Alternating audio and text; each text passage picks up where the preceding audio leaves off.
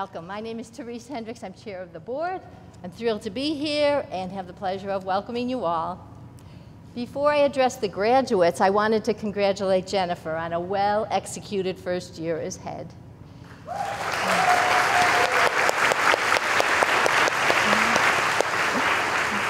I got to add a little, doubt, bringing together all of the constituencies, listening and humbly admitting she didn't have all the answers, but starting to work on some management issues that could be improved. She has established her credibility and she has gained the full endorsement of the board. Thank you, Jen.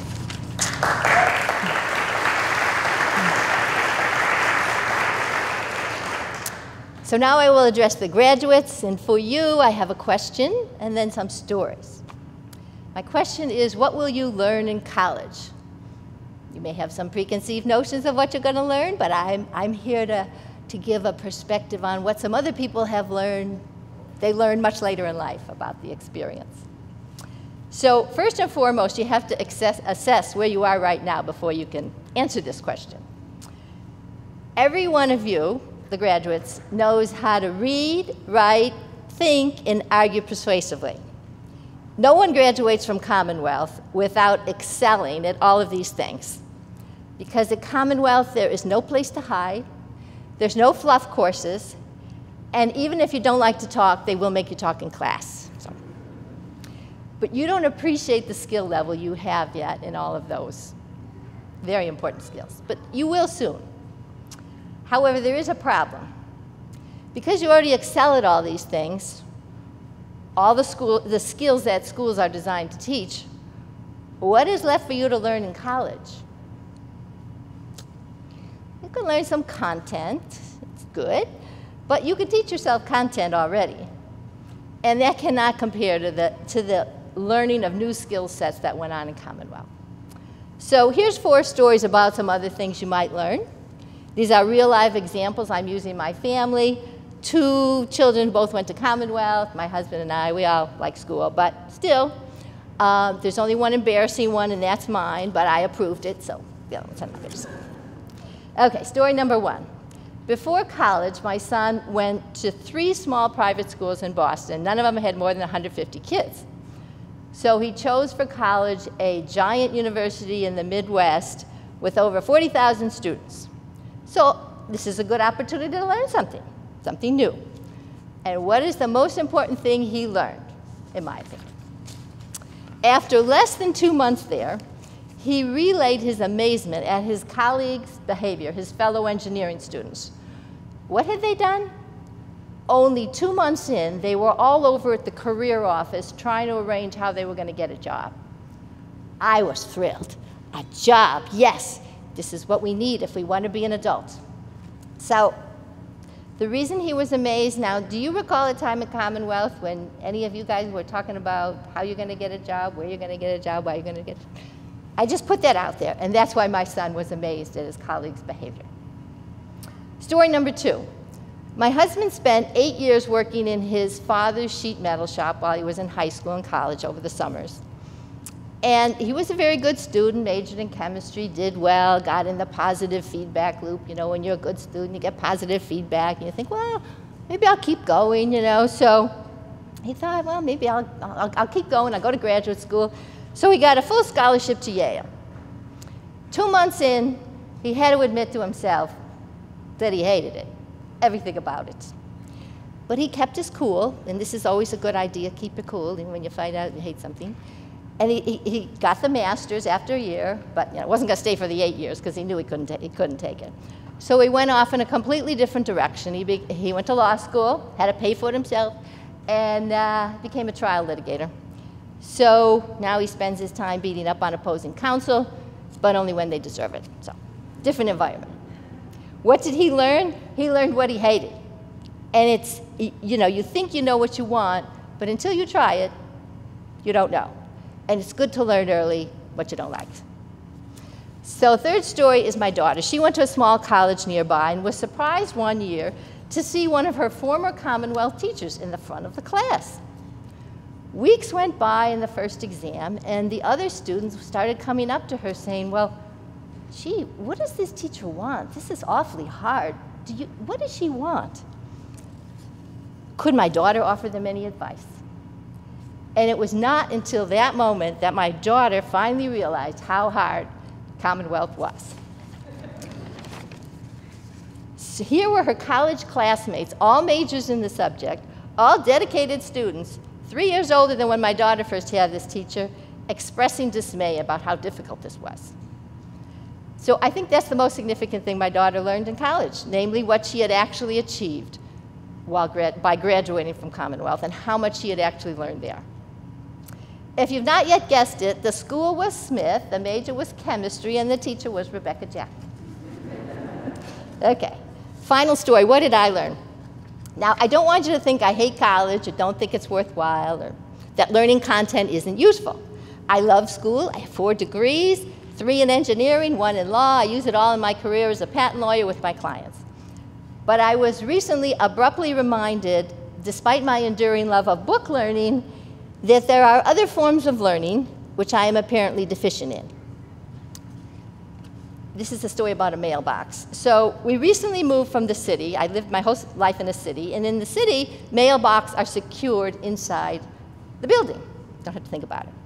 But we moved to this small farm with a mailbox on a post. You know, it's out there the end of the driveway so the mailman can pull up his truck and open it and doesn't have to get out of his truck. So, anyway, my new mailbox was more or less working fine, except every so often the front cover would open and all the mail would blow over the front yard and I have to scurry around trying to find it. So, my husband endured this for like two years and he finally said, You can do something about that mailbox or I'm going to do something. So, you know, we had a man that was good at construction, you know, knew, knew how to build things, repair things. So I said, you know, what do you think is wrong with this? I said, there's got to be a hole in it or something. The wind is coming in, it's opening the door, and it's blowing my mail all over the place. He looked at me very politely and he said, well, the post is leaning. I think it's vibrating, the mailbox, and that's why it's opening. And as soon as he said the word vibrate, I knew he was right. And I had wasted two years with my false premise about thinking there was a hole in the mailbox and it was opening the door. So, as I said, you can learn a lot of things in books, but sometimes you learn them better in real life doing construction. Um, so what did I do? I put a big rock in the mailbox that damped the vibration, and now it works fine. So what will you learn in college? You know, that's really up to you. What I'm suggesting is that what you, the most important thing you learn may not be in the classroom. Keep your eyes open, and you may likely learn more from an experience than you're going to learn by reading another book. And do not forget to come back and thank your teachers, the Commonwealth teachers, for all the real learning that took place here. Thank you.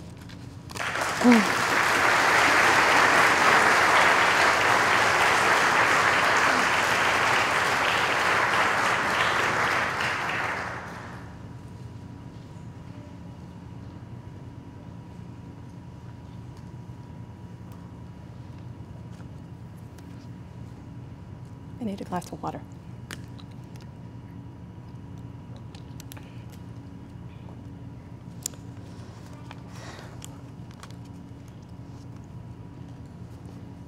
Hi. Dear seniors, we are here today as a full community because of you. But before we turn our attention your way, we want to take a few minutes to honor and say goodbye to the six faculty members who are leaving us this June. We will toast them and give them gifts individually at our celebration next week. So they will be likely relieved to know that I will not make them come up to the stage right now. Some of them have been with us for considerably less time than you graduates, Eitan included. But one of them has been coming to this very graduation each year since before any of you were born. I'll start with the former. When Samantha Nieto decided this winter that the call of her family and perhaps the weather in Arizona was too strong to resist any longer, we needed a photography teacher. Colleen Fitzgerald fit the bill. A talented photographer in her own right and an experienced teacher, Colleen worked carefully with students as they made the art we so enjoyed last month at our art show.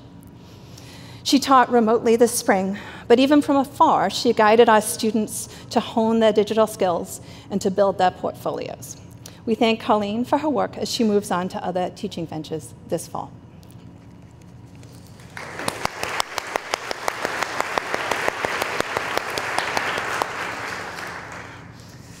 At last week's all school assembly, several of our seniors and juniors read poems that were part of the collections they had, they had written in Jude Frodema's Craft of Poetry class. Jude stepped in on short notice when Sasha Eskeland went on sabbatical second semester. Having barely set foot in the building before January, Jude had the inside scoop on Commonwealth from her husband, Jonathan, an alum.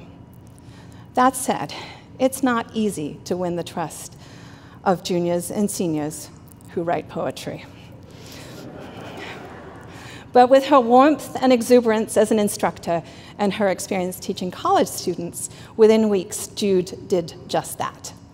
I'm sure her cool leather jacket didn't hurt either. And as I chatted with her after last week's assembly, it was clear that Jude now understood for herself the magic of Commonwealth. Jude, you're out there, I see you. Um, thank you for your thoughtful, steady shepherding of our poets.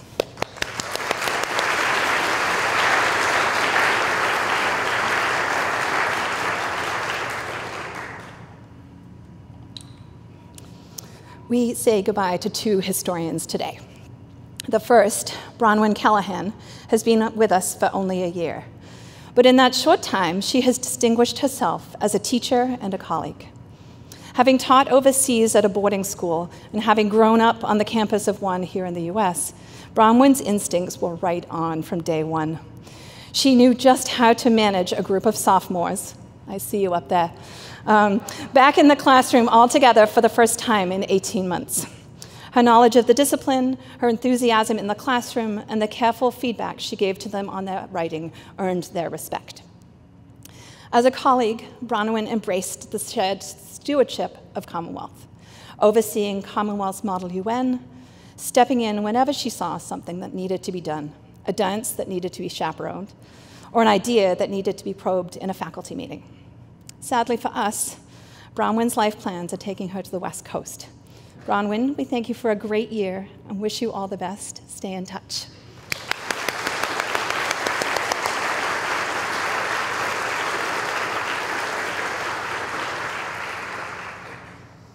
Based on this table of diplomas, it looks like you seniors will be gracing the couches of different communities, of the lobbies of different communities this fall, vacating the Dartmouth lobby for our next class. As an institution, we have Sophia Mies to thank for clearing you all out.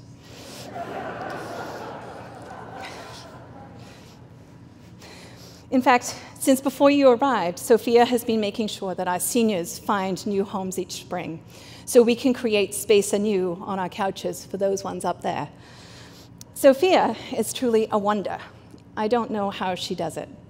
She supports and encourages students while they envision their futures and find their voices, all the while helping their parents to let go so their child can find their own way and make their own choices. Sophia's true humility and authenticity is key.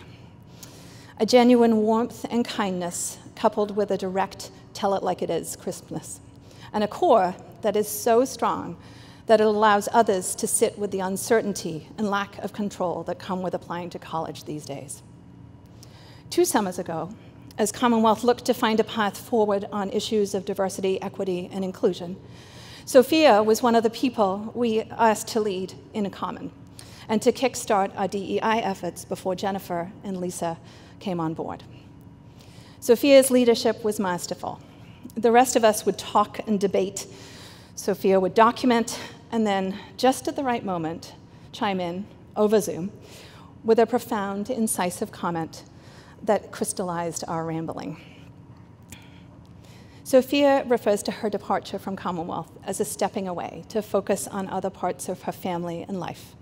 Sophia, we thank you for your service to the school and to, to our students and families.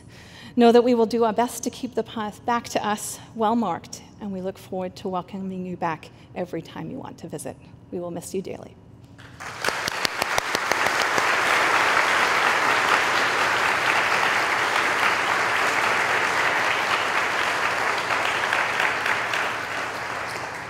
I just laid eyes on him. Chris Barcy is a force, a strong force who has strengthened and grown our physics program over the last eight years. When Chris arrived at Commonwealth, there was, you might say, resistance to the idea of physics. There are more. Um, as an, an, experimental science. There was a notion that, unlike the lesser disciplines of chemistry and biology, a physics class could be conducted and all concepts fully explained with only a whiteboard. Chris trained as an experimentalist. Trained as an experimentalist. Dare I say it? Electrical engineer. Became quickly respected as a thinker, scientist, and teacher. And he was able to compellingly argue that allowing students to probe the interplay between theory and experiment, experiment would not dilute, but would rather deepen their understanding of the physical world. With school support, he worked to secure funding for the physics lab, now on the fourth floor, providing a place for hands on work in physics classes, a home for ro- uh, robotics teams, and a project space for independent work. Reserved by nature, Chris truly comes into his own when teaching. His clear, well structured discussion of most any topic in physics allows even the most timid of students to engage with the material, all the while pushing those students who have an intuitive sense of the subject to further their understanding. He has spent summer, his summers carefully crafting elective courses and expanding our first year physics offerings to include Physics 1 Accelerated, which gives students a full introduction to the breadth of the field.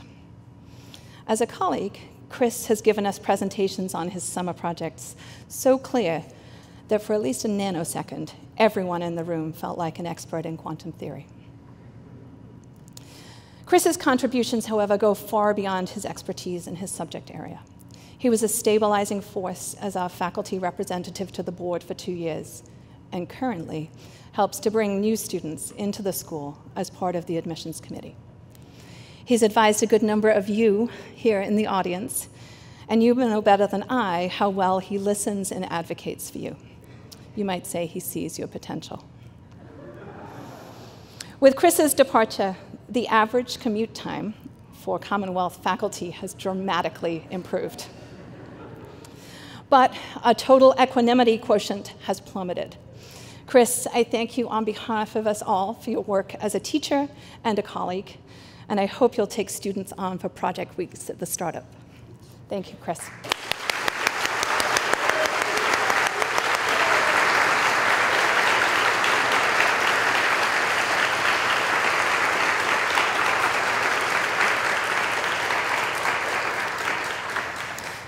Our final goodbye today is to our second departing historian, Barb Grant.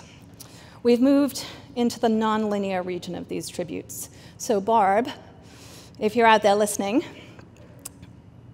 know that our fondness for you cannot be expressed with a linear equ- equation that attribute, relates length of tribute to time devoted to Commonwealth, or we'd be here all afternoon. Seniors, you have the honor of having been the last class that Miss Grant taught in person. It was not easy for her to decide to retire this spring because while not dating from the medieval times, our old Back Bay home and the warm community of scholars, both young and adult, it houses has been the world that has sustained Barb for 25 years. Until Barb joined our ranks, history had been taught by seemingly everyone at Commonwealth but historians. As Melissa Haber described it, Barb, with multiple degrees in medieval history, brought more expertise in how historians approached their subject. And where Commonwealth had often focused on intellectual or political history, Barb opened her students' eyes to the possibility of studying culture, not as the province of the elite, but as the lived experience of all who dwelt in a particular time and place. Her medieval course broadened 10th grade history away from Europe and towards an examination of how cultures viewed themselves and others at moments of contact, giving students windows into the daily life of the past. Barb is the consummate scholar. With broad and deep interests, she has a passion for continuing to expand her own knowledge and understanding of history, languages, cultures, movies, and cooking. In the past 20 years, rarely did a summer go by when Barb didn't have a Hughes grant to study Turkish, Persian, Hindi, or write a textbook, or travel to India. And the courses she designed broadened the history department's non Western focus and celebrated other cultures. Beyond her deep intellectual interests, Barb found herself entranced by Bollywood movies. And for some time, she hosted a Bollywood club whose members would watch movies outside of class time, often in Barb's basement. Not just a scholar, Barb is also a mensch who wholeheartedly bought into the Commonwealth enterprise as a shared endeavor. She cared deeply for her advisees, some of whom sit over here, and tended to them as she did her own kids. I have indelible images of her in the kitchen at Hancock working tirelessly for the whole weekend as at Hancock food person, making sure we 200 had enough food to eat. As she often joked, the perfect job for a Jewish mother. Barb helped design and then oversaw our mentoring program for newer teachers. She ably shepherded a slightly cynical faculty through the self study process for our reaccreditation. In short, if you needed something done um, that was complex and multifaceted, done well and on time, then Barb was your person. Oh, and I, did I mention she used to also run the library when she first arrived? I, myself, will miss the connections we had as teachers of sophomores, as lovers of royal pageantry, and as people who identify as Canadian while having lived here for most of our lives. Barb, we wish you a wonderful retirement filled with time to continue to pursue those intellectual passions, watch Bollywood movies and tennis, read tarot cards, and spend time with your boys. Thank you for devoting a quarter century to Commonwealth. We already miss you.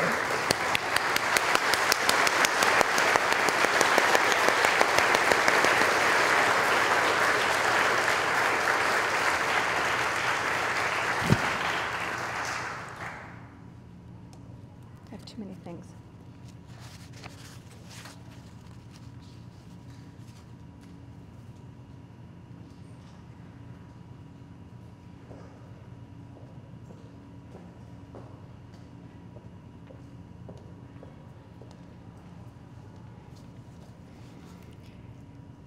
It is my great privilege to welcome all of you here today.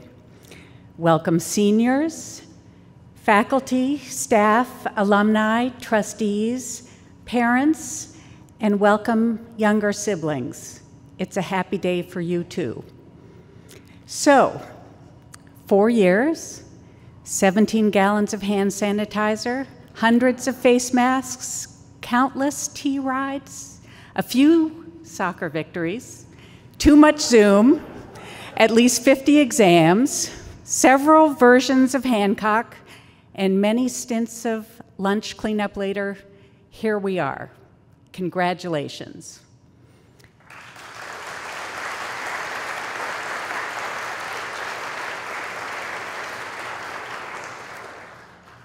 As surreal as it seems to me, 41 years ago, I was standing in this exact spot for my own graduation from Commonwealth. In some ways, your Commonwealth education has been remarkably similar to mine and to what every generation of Commonwealth student has experienced. You've worked with talented faculty and caring advisors. You've delved into complex texts and had provocative conversations about those texts. You've done a lot of homework and done lots of relentless complaining about that homework. But although your experiences were emblematic in some ways, you have had a Commonwealth education like no other in our school's history. You've experienced Commonwealth, the pandemic version, where each year of your time here had specific, difficult phases, all of which tested you. I want to talk a little bit about how you've responded to those tests and how I think Commonwealth positions you to manage them. It's not the setbacks that are the gift, but rather the tools you've developed to persist through them. Even without a pandemic, my own journey through Commonwealth had its share of setbacks. I arrived here as a ninth grader with a lot of enthusiasm and curiosity, but not much in the way of academic skills. I was interested in making friends, and I thought the whole idea of high school sounded very sophisticated. Somehow, I thought the academics would kind of take care of themselves. If you remember at that age, there's a weird bubble of cluelessness that you walk around with. It's all fine. My first quarter grades at Commonwealth are indelibly etched in my memory. a D plus in math, a D plus in English, a generous C minus in ancient history, and a C in biology. Not so fine. Those grades got my attention. I realized that whatever I was doing, and mostly not doing, needed to change.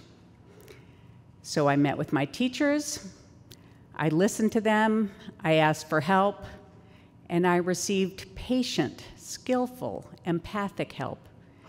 Polly Chatfield, my ancient history teacher who is here today, taught me how to outline ideas for a paper and put my swirl of thoughts into some kind of order. I am still using those tools, Polly, and I owe you an unspeakable debt of gratitude. Thank you so much.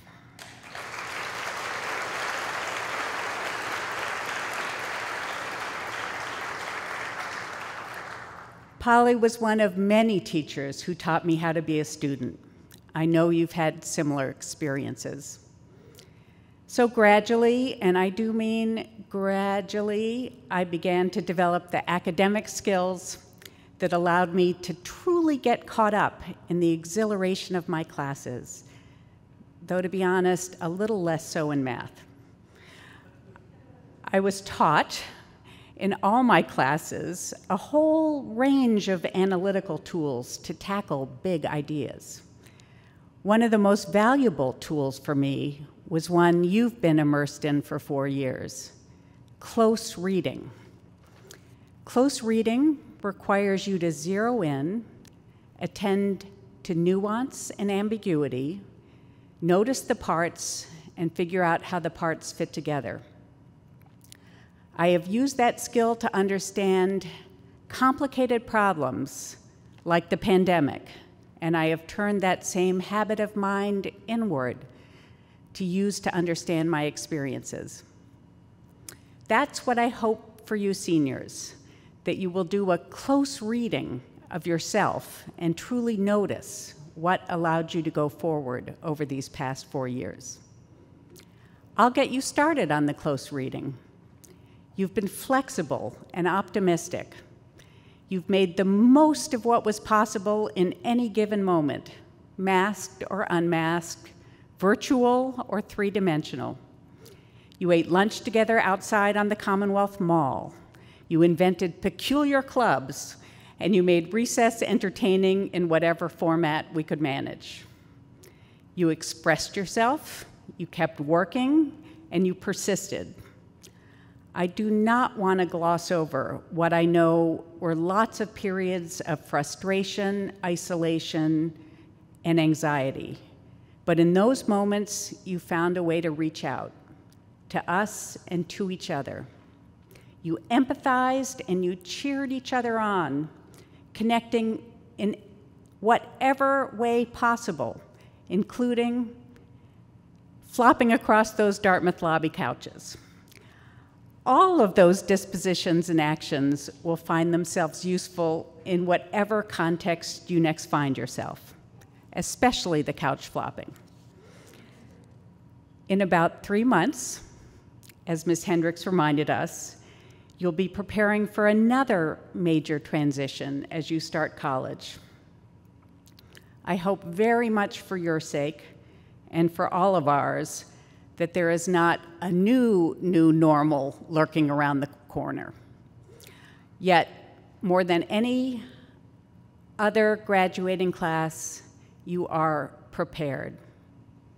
I want to close by saluting your resilience, your good humor, your hard work, and your kindness to each other. And I want to thank you for being my best tour guides as I navigated my first year here as head of school. Not a few times I felt like a ninth grader again. Not a few times I looked to you seniors to help me understand the essence of what it means to be a Commonwealth student. So, well done for getting to this momentous day, and well done to all who helped you. On my behalf and yours, I want to thank our superlative faculty and staff, those who are moving on, and those who thankfully remain. It is a true privilege and a daily inspiration to work alongside such a dedicated, smart, big hearted group of people. I want to thank our trustees who cherish and protect Commonwealth's missions. And most importantly, I want to thank your families who trusted you with us and who have devoted so much to supporting you. All of us, and you, have worked hard to get to this 62nd Commonwealth graduation. We're all cheering for you today and always. Congratulations.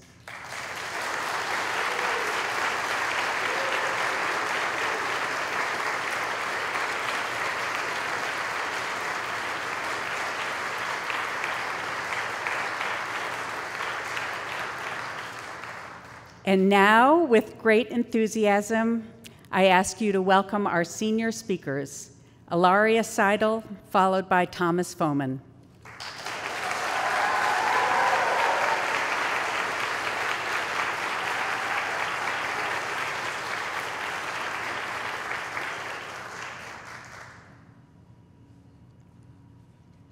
Hi, everyone. Now that now that I'm standing up here, it's finally hitting me that I'm a senior. Four years ago, I came into Commonwealth knowing my own definition. I was a math person. I'd planned out all four years of courses, including every math class in the catalog, plus a minimalist sprinkle of everything else. And by the end of week one, I was already a proud member of the Commonwealth School math team. Just as I'd labeled myself, over the first few months of my freshman year, I began to read my friends' name tags. You're an athlete, but not a musician. You're a musician, but not a writer. You're a writer, but you sheepishly say that you can't do math. Although I thought my labels would last, it wasn't long before the people around me began to push the boundaries that I'd drawn around them in my mind. When I look at my classmates now, I see the girl who skated for dozens of hours every week, but is fluent in German and wants to major in neuroscience. She's the kind of person who decides to learn Japanese one day and actually goes through with it, and the kind of friend who will bring you a stuffed animal when you're feeling down. I see my friend who seems to have read every book under the sun and is happy to explain his ideas and questions to a curious classmate. Can you have a language without sentences? Is time truly continuous? And of course, he can tell you the difference between the cacao beans from the Dominican Republic and Vietnam, because in his free time, he makes chocolate from scratch. For four years, I was surrounded by these multidimensional people. And because of them, I was forced to challenge my own simple self definition I'm a math person. In my medieval history research paper, I read about Euclid's elements and finally began to formulate my own answer to that messy question Was math discovered or invented? In Mr. Barcy's class, I began to see the origins of math grounded in the physical world. While in Mr. Letarte's class, I watched as he rewrote math in the rigorous language of sets. In US history, I read about Mary Cassatt and began to understand the story of women who fought for their place in the professional world before us. In her Modern Woman mural, she reinterprets the biblical story of Adam and Eve so that the apple represents the fruit of knowledge and Eve reaches towards it with independence and curiosity. I can no longer see math as a subject separate from physics, art, or even history. At last, I've fallen into Commonwealth's liberal arts trap. My friend encouraged me to go on an exchange trip to Korea I learned that you can't even call yourself a math person in Korean. It doesn't make grammatical sense. Instead, you can only be a person who loves math, and that's what I became. I couldn't have predicted much of my high school experience, but three years ago, when we sat in the balcony and admired the seniors walking across this stage, I know we dreamed a little about today. Since then, no Commonwealth class has graduated in this room. We have survived a global pandemic. For more than a year, our social lives were limited to a rectangular screen, so that when we came back to real life, we didn't want to let each other go. Drinking hot chocolate, watching a soccer game, and piling ourselves like laundry on top of the Dartmouth couches became precious moments of relief from our stressful senior fall. College essays invaded our heads. What's the greatest problem society faces today? Tell us about your extracurriculars. What kitchen utensil are you most similar to? And we poured our pain into wall decorations, affectionately termed the Hall of Heartbreak. While I was writing this speech, I wanted to capture our grade in just a few words. But as I deliberated, I realized that we aren't X or Y or Z. You might walk in the Dartmouth doors and find the Taekwondo black belt who runs every school production from behind the scenes, sitting next to the ballerina who bakes macarons like a pastry chef. One friend and I look identical on paper. We've taken two dozen classes together, and we're in all of the same clubs. But every time we had an essay or a problem set, while I was freaking out, he was already finished.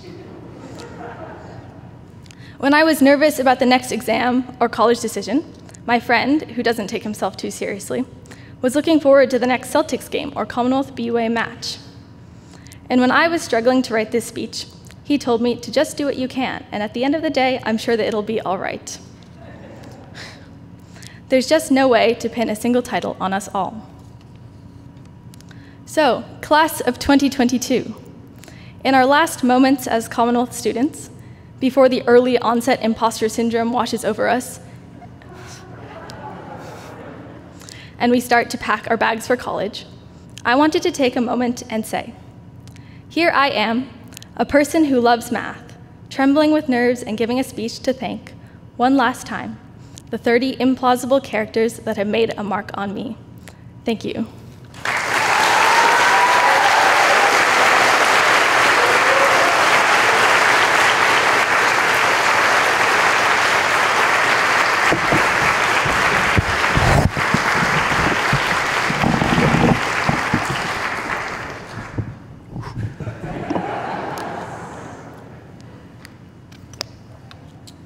Okay. As your final speech, I'm honored. Um, I'll promise to keep it short and sweet, as you all know. Okay. all right. Hello, everyone. It's lovely to see you all here today. Although not all of our family and friends could be here, estou mandando muito amor para todo mundo aí no Brasil. I know my brother, a pandemic graduate, did not get to be in this wonderful place we're in, in a room filled with wonderful people. So, this occasion is something we all have to be thankful for. But, preaching aside, what's more important? The class of 2022, everyone. Yeah.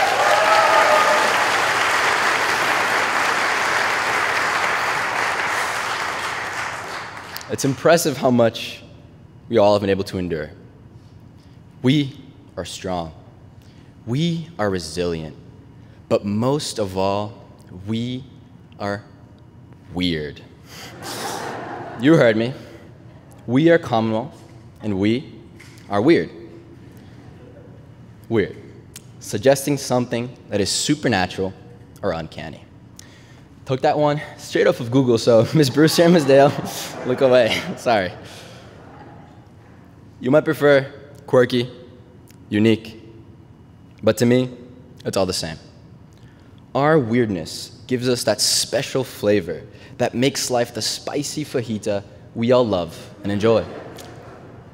In classic Commonwealth fashion, you're all probably thinking, it depends on my relative terms of weirdness, how often we choose to be weird or when we are weird, but the point is, weirdness is undervalued. I'm so glad to be at Commonwealth, a breeding ground for weirdness. My first experience of a Commonwealth class was during my day, my visit day, way back in 2018. It was Letarte's infamous geometry class. When he came in, carrying himself with his classic serious awkwardness, he asked everyone to please hand in their work. The students around me started either fold or crumple their paper, and then suddenly a blizzard of papers were thrown at Mr. Letarte. He calmly responded with a, "Aw, thank you, class. And then, with an effortless wrist toss, he returned all of their homeworks back to them.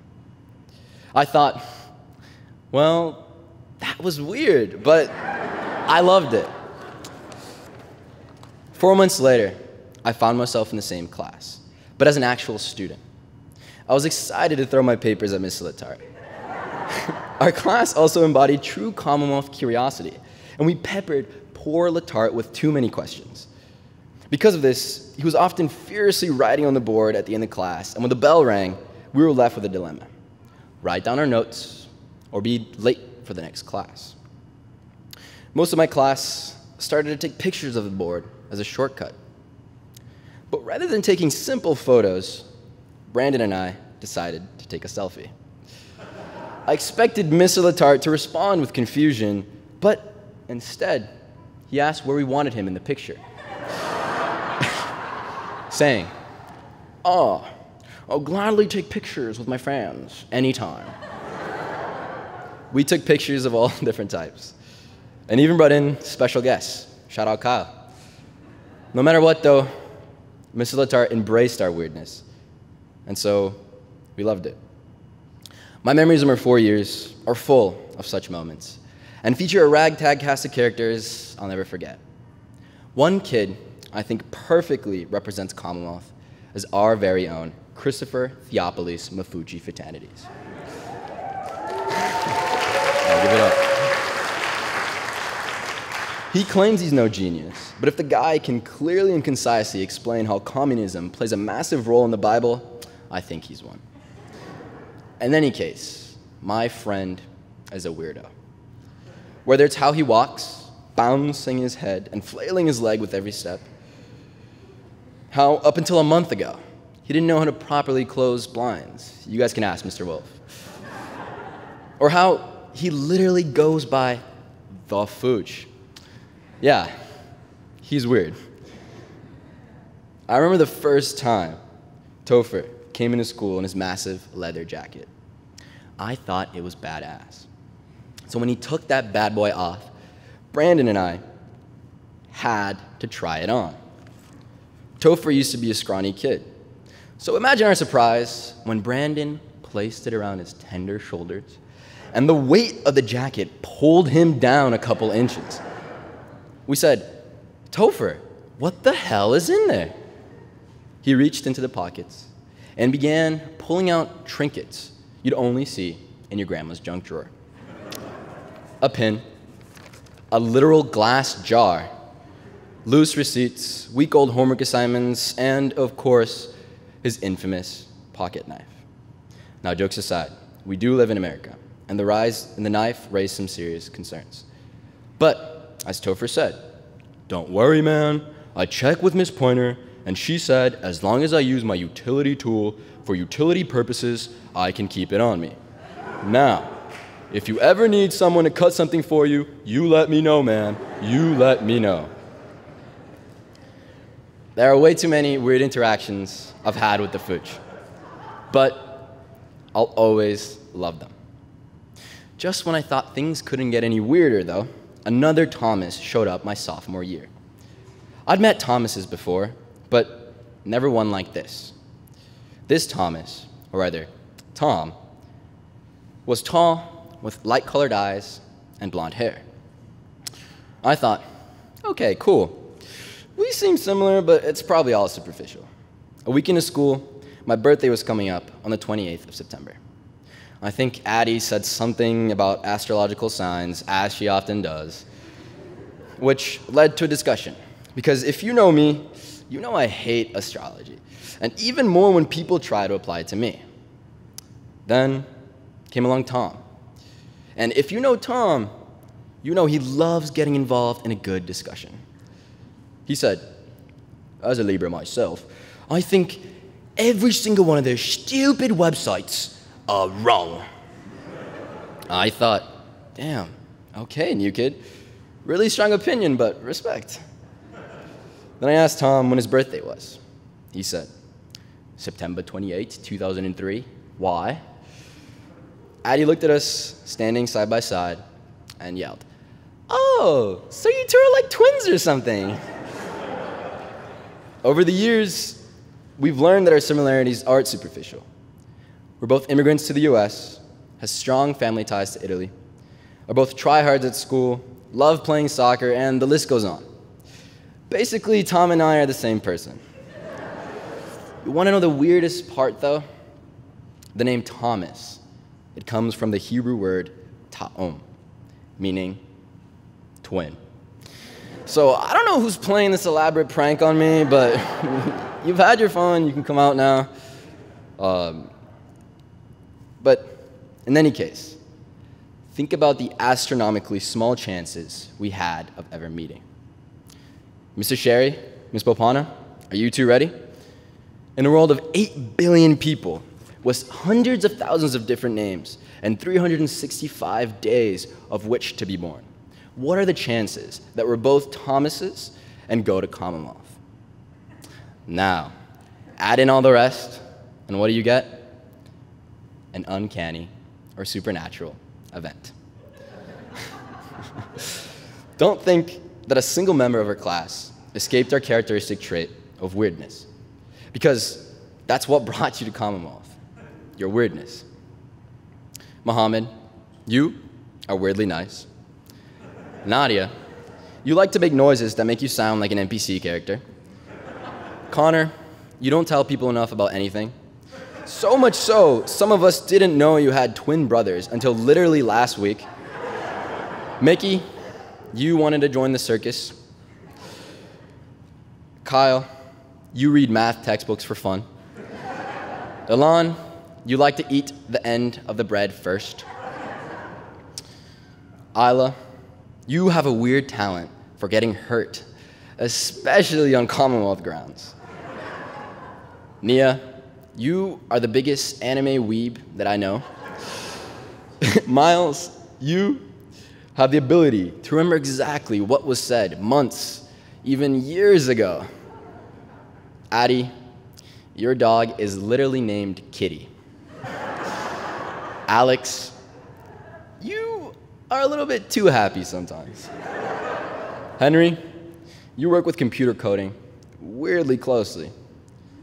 Hannah, you kind of sound like a valley girl. Eitan, you spend a weird amount of time on Discord. Alice, you take an amazing amount of notes. Hanming, you're the most successful, laid back person I've ever met. Raphael, you have a weird sense of humor. Even for me, dude. Sophia, you were weird for taking things so literally. Avery, you have the stretching ability of a yoga master. Ryan, you have impressively large biceps for an 18 year old. Annie, you love sharks too much. Daria, you're weird for being a horse girl. Kai, and you want to be a cat. Brandon, do I even have to say anything? Ilaria, you're weird for liking your younger sibling. Milo, you were weird for liking Helvetica. Dina, you're weird for having your personality revolve so much around your music taste. Vivian, you're weird for knowing exactly where everyone lives. Tom, you're tall. Chris, you are just plain weird. And me, I'm weird for still loving all of you guys. Class of 2022, stay weird. Thank you.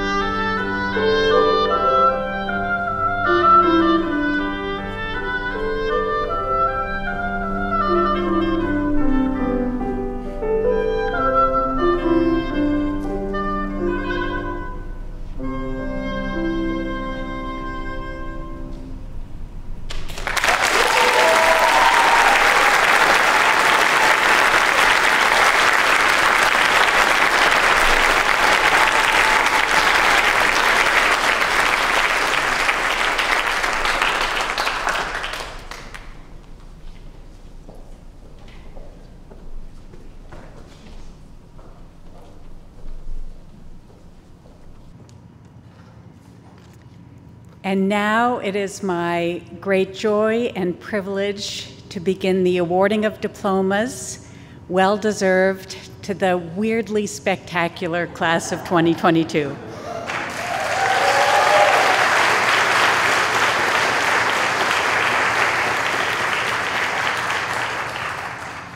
Mohammed Abdurrahman.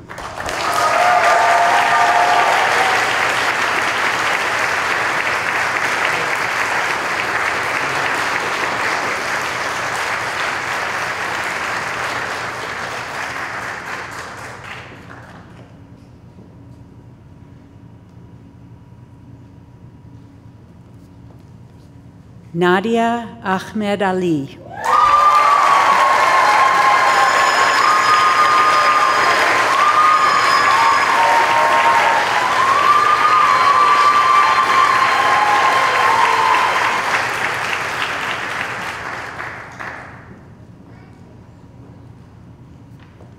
Henry Bresnahan.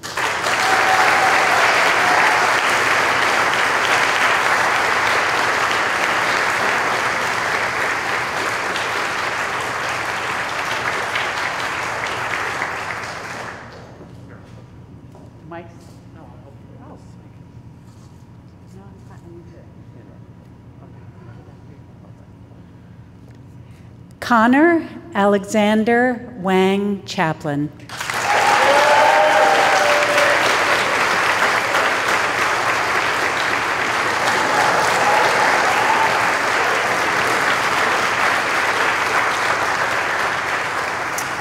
The Brandon James Chen.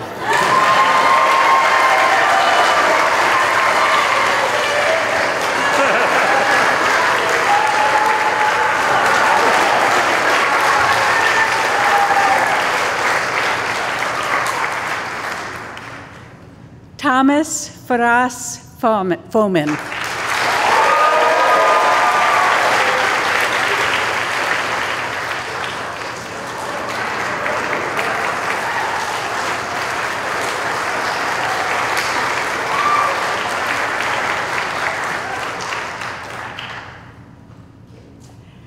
Thomas Greeny.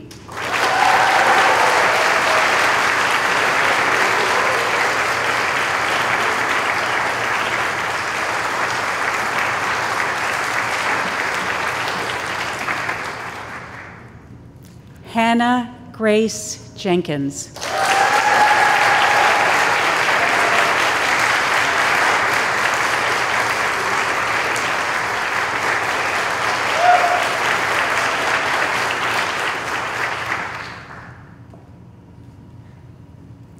Annie Elizabeth Jones.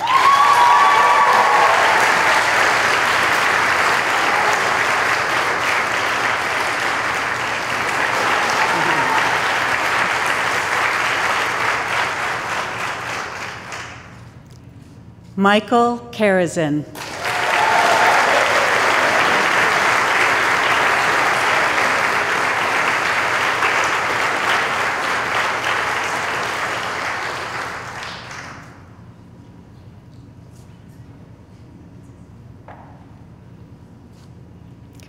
Miles Matthew Kodama.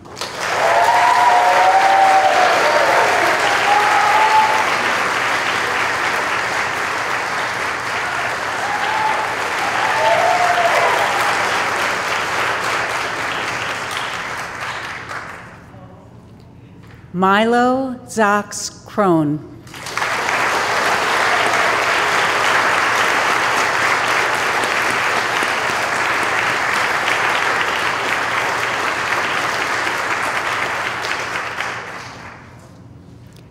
Isla Lada.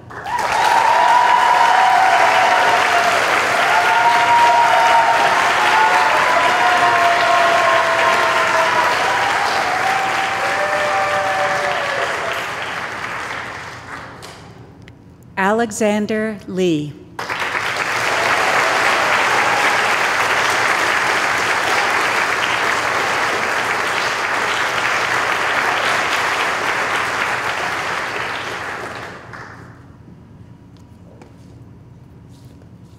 Shenshu Leong.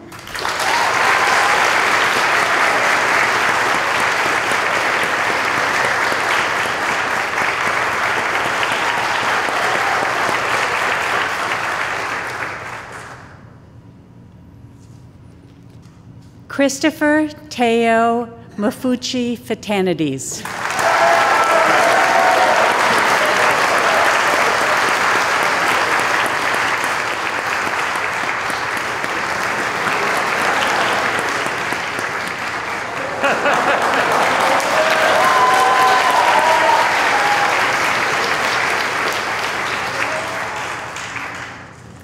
Avery Joseph Mangum.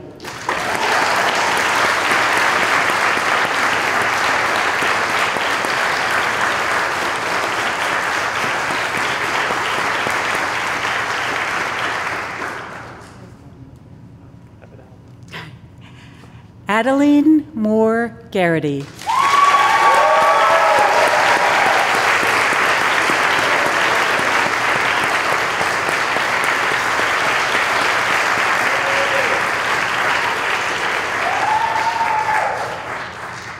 Alan Peng.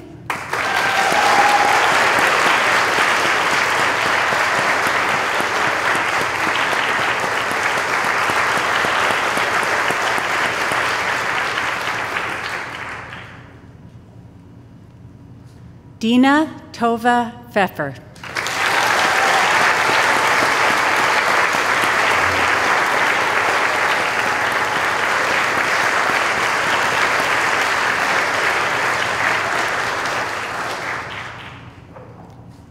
Ryan Fan.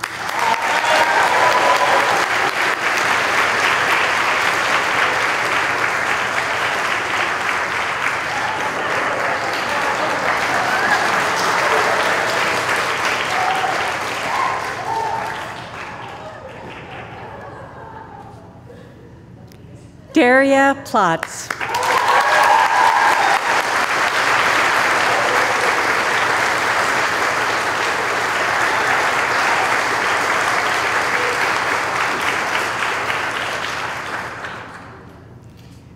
Kyle Rope.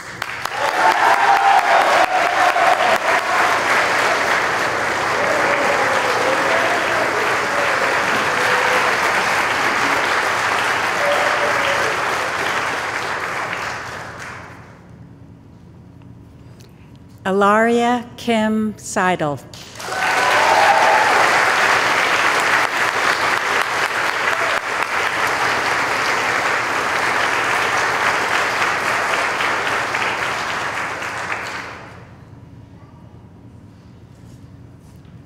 Eitan N. Sengupta.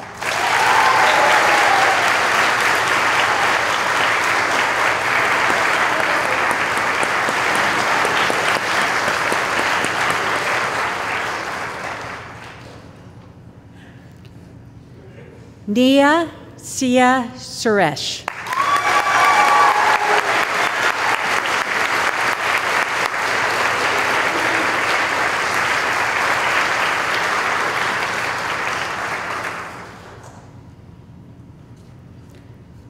Jamie Kai Givens Chia.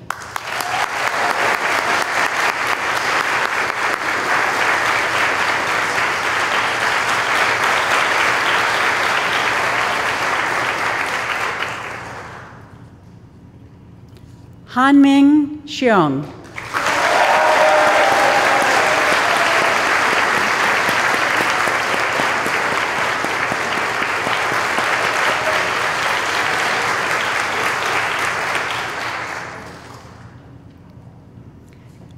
Rafael Antonio Takaki Yamamoto.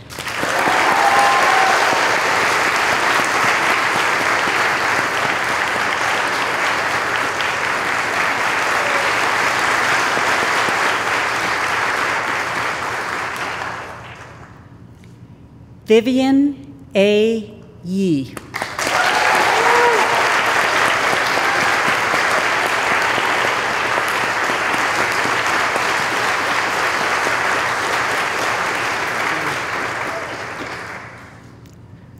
Last and never least, Sophia Grace Ying.